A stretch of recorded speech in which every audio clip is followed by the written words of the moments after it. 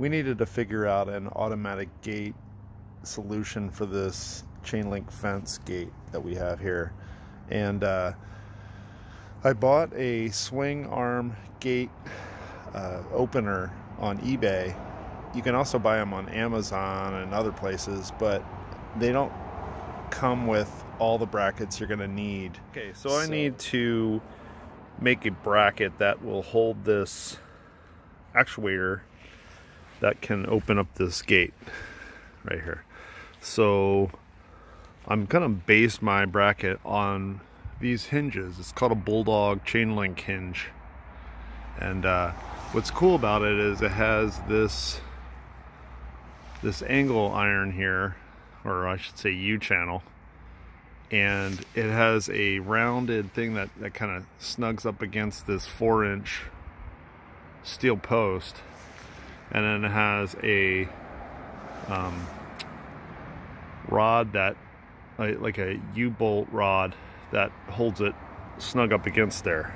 So what I want to do is I'm gonna cut this piece of uh, tube steel down to size or something similar. I don't it might maybe something a little smaller but something like this.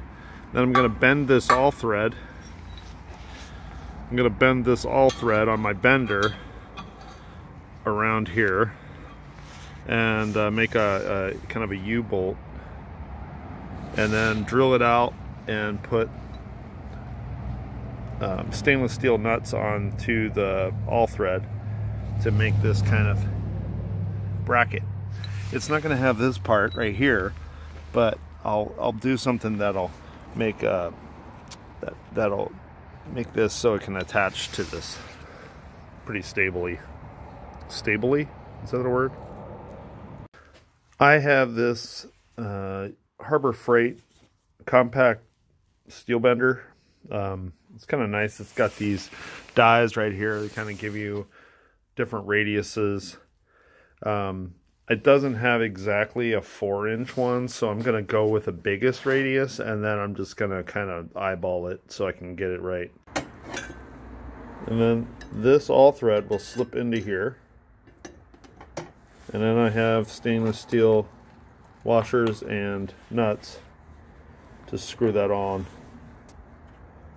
But the next part I got to do is I got to weld this bracket right here I'm to just tack weld here and here and then run, run a bead up the back. Um, you got to be really careful though because this is probably a zinc plated or galvanized. I think it's zinc plated. So I just take deep breaths and um, walk away from the uh, the welding smoke after I do the welding because you're not supposed to breathe any of that zinc or galvanized coating.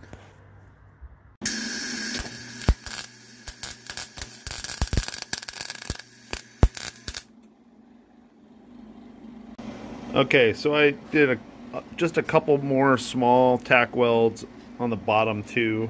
I think this is going to be more than enough. Um, considering I had everything just clamped and it was still operating, I think with just a few welds, this should have more than enough holding power for this gate opener.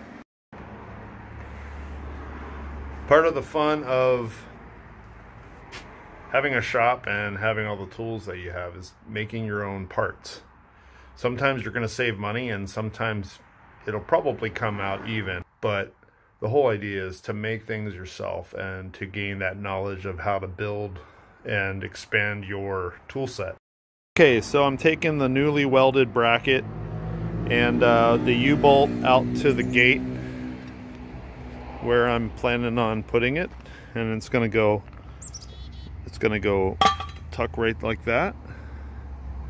And uh, I can't do this while I'm holding it in my hand so well, holding the video in my hand so I will show you in a bit how this works.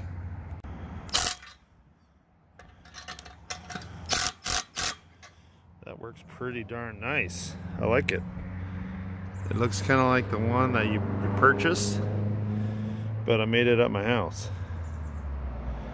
And then, uh, so next thing I'm gonna do is I'm gonna get this off off of the wall. I just had this um, lashed to this fence until I could get the bracket all set. I have this other one right here. Um, I'm to be attaching this somehow more permanently, but right now I just have baling wire. Um, so basically you have to try to get it as level as possible so it, it's not fighting kind of torsion or torque or whatever.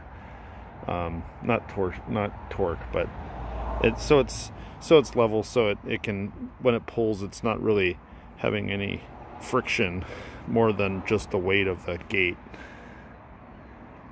okay so I got this bracket installed I still have this guy kind of clamped in with the baling wire but um, I'm gonna test this just to see if the bracket holds